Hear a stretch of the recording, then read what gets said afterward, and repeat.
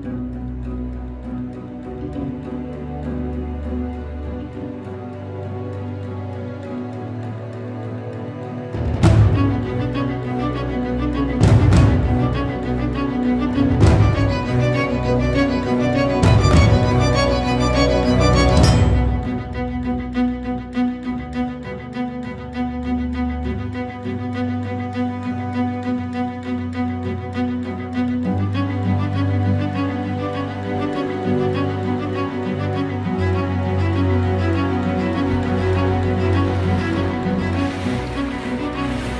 decía que en Mazagón no había de todo.